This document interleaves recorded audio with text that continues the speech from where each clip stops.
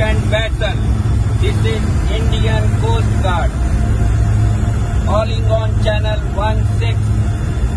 Cyclone is forming an Arabian Sea.